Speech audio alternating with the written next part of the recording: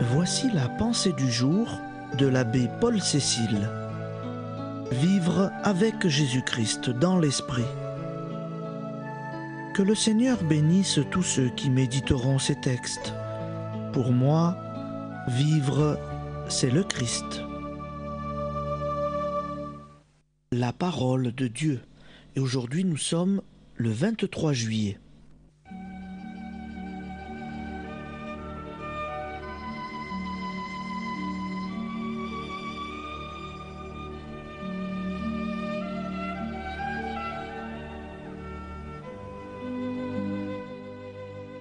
Soyez de ceux qui pratiquent la parole, et pas seulement de ceux qui l'écoutent.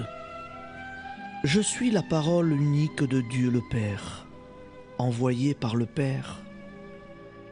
Je l'ai révélée aux hommes.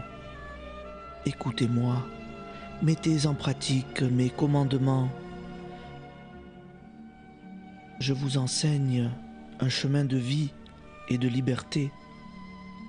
Pratiquez ce que je vous dis, fréquentez-moi jour après jour. Que ma parole soit dans votre cœur pour la repasser au fil de votre pensée. Quiconque me trouve, me fréquente, répond à ma parole, trouve son bonheur.